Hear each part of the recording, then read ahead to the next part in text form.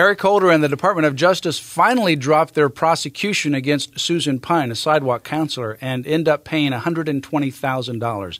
I'm Mat Staver, founder and chairman of Liberty Counsel. Joining me is Deryl Edwards, president of Liberty Counsel Action.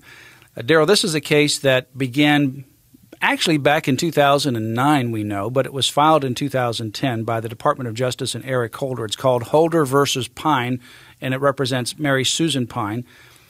Susan has been a sidewalk counselor uh, at an abortion clinic down at South Florida in West Palm Beach for about 20 years. After she had an abortion herself, she has been radically changed and she's dedicated her life to saving unborn children and protecting women from that disaster.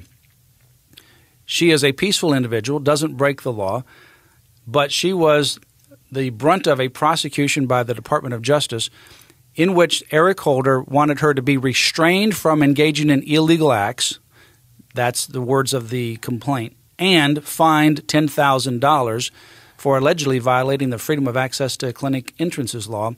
And of course, that was eventually dismissed, and now uh, they've recently dismissed their appeal and ended up paying $120,000. It seems like the illegal act is performed by the uh, Attorney General to deny this woman her First Amendment rights. Um, I noticed that she's still in the business of uh, sidewalk counseling and saving the lives of children if she can.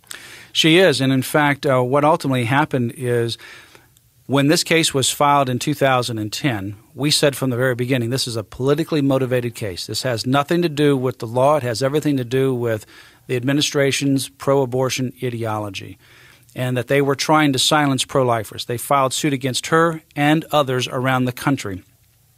They had no evidence. The complaint was flimsy, two and a half pages.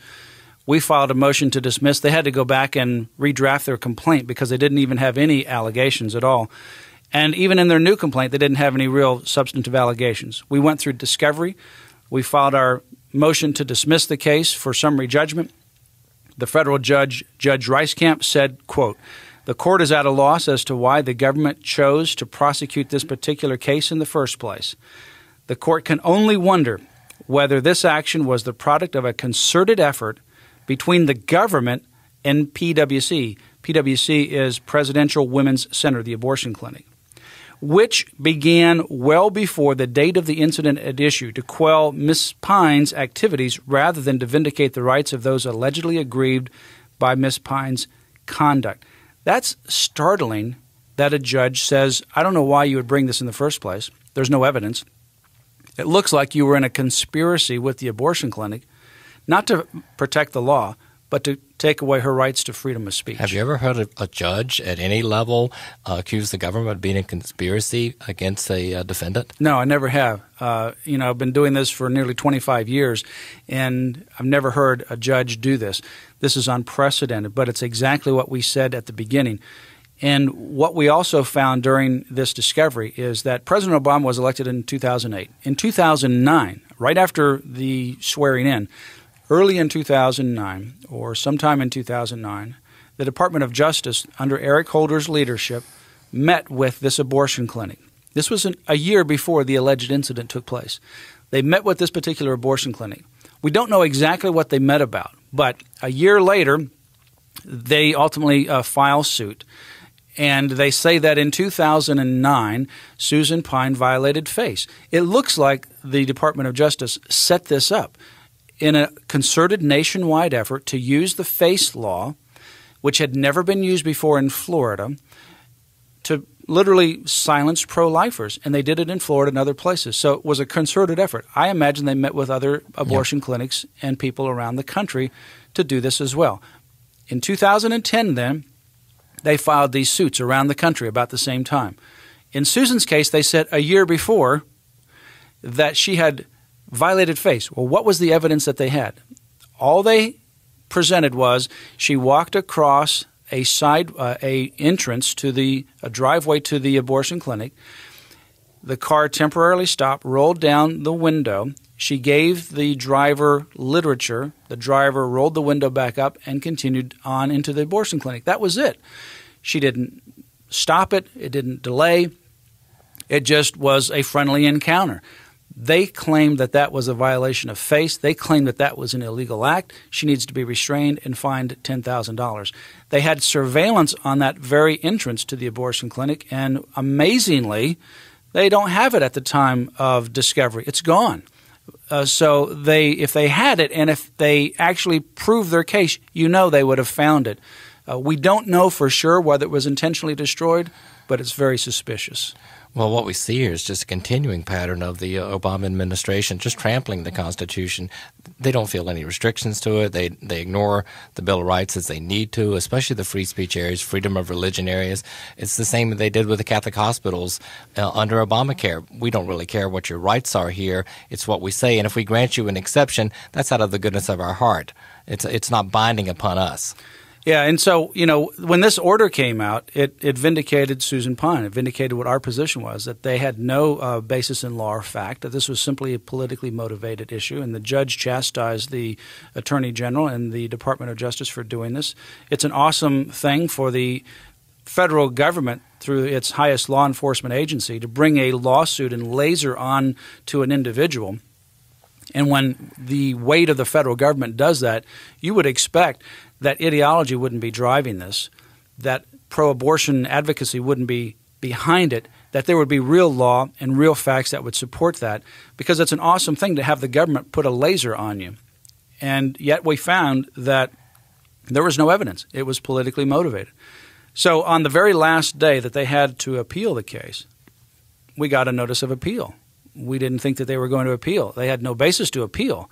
Uh, surprised by that, our attorney called the Department of Justice lawyers and said, What's going on? Who authorized this?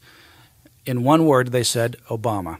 Wow. Now, that is just astounding that the President of the United States would get that involved in a particular lawsuit. But again, it's part of this radical pro abortion ideology that trumps law. And ultimately, this was appealed. And on appeal, they then settled it with us for $120,000. We didn't budge at all. Uh, we knew that if we went to the oral argument, they would have another, now a federal court of appeals arg- uh, case saying the same thing about them, and they didn't want to do that. And ultimately, uh, the, they ended up paying $120,000 for this improper lawsuit. Is it the case that the, the president, who seems to have so much on his plate, or should be on his plate, with the gas prices people are paying, the economy that's in shambles, that's not recovering.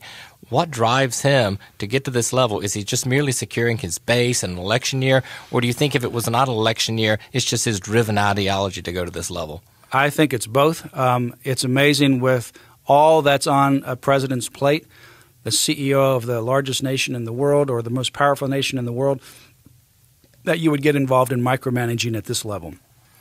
The only way you can explain it is just a commitment to radical ideology that would make someone get involved in this kind of micromanagement level, ultimately, uh, it's just astounding. Well, I mean, is anybody really shocked? I mean, he when he was running for office, all he kept saying is he wanted to fundamentally transform America, and yet people still voted. They should have looked deeper into that. What did he mean by that? He's demonstrated clearly since he's been elected what he meant by that, which a lot of people saw ahead of time. Yeah. So this uh, the good news here is that um, Susan Pine is going to continue to do her counseling. In fact, even during the middle of this litigation a couple of months ago, she sent us an email, and in the subject line, it said everything. You don't have to say anything more. And it said, We saved a life today. And it was Susan who met a woman and a guy who came there to have an abortion. She talked to that individual, and they ended up going into the abortion clinic, not knowing if they were going to actually have the abortion. They came out uh, they ended up saving the baby. The baby is alive, has been born. And uh, that's Susan Pine. That's what they wanted to ultimately stop. So pray for Susan and others like her around the country that are at these abortion clinics faithfully every day to ultimately save those who are going in for destruction. Go to Liberty Counsel's website, lc.org, and ask for my book, Take Back America. It's a reprint of a new book, updated and revised, uh, that I uh, recently released. It's called Take Back America, and it talks about the issues that are fundamental to our values in America and how we must unite to take back those values. Go to Liberty Counsel's website as well. Sign up for the Awakening 2012, Friday night, April 20, and Saturday, April 21, right there on the website in Orlando, Florida, just a few weeks away. The Awakening 2012. Go to lc.org today.